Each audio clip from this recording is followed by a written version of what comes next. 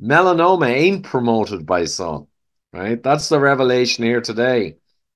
So 95% of terrestrial UV energy is UVA, and it goes through ozone and even glass.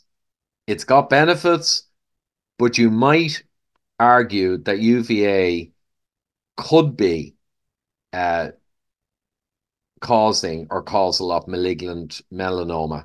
So the irony is, it's not even the UVB that we try and block. It's probably the UVA that has some connection to melanoma, and it goes through glass and ozone and most sunblocks anyway. So the melanoma zone, if there is one, that's the serious stuff, and it's more attached to UVA. And the squamous and basal cell skin cancers, which are kind of cosmetic, have tiny mortalities. And the deaths per year out of 340 million people in the USA are 2,000.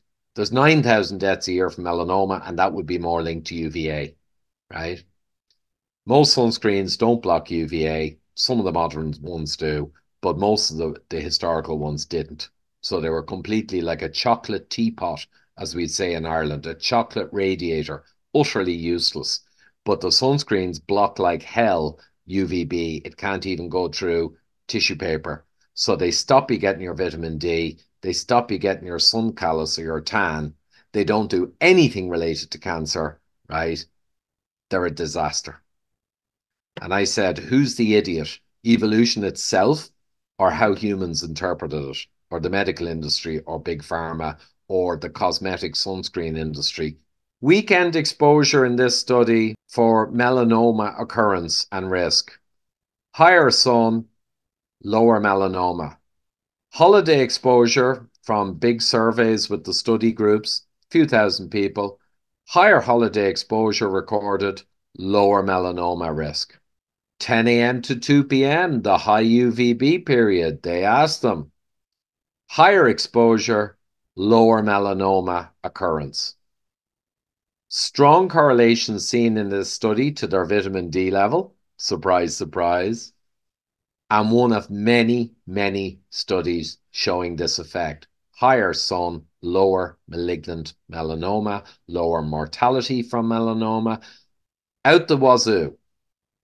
No one wants to look at these studies and no one has studies showing the opposite. It's just fairy stories, guys. Sorry. The real risk factors for malignant melanoma in the same study called out by these teams significant sunburning incidents did have a weak risk or higher risk ratio for melanoma. And anyone who burns themselves, let's be honest, I don't want to be harsh, they're kind of an idiot anyway because no one burnt themselves a thousand or two thousand years ago.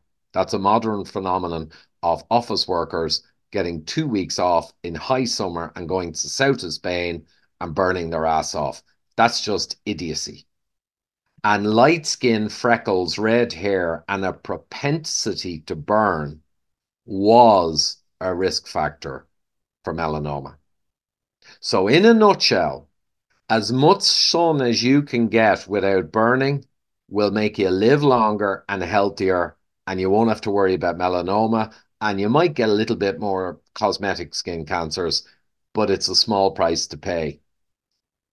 And if you burn, burn, burn, baby, you will cause deep damage to your skin and it may tend towards a higher risk for melanoma. Isn't that a simple message? as much sun as you can get without burning, right? Don't be an idiot, and you'll be healthier and live longer, and everything will be better.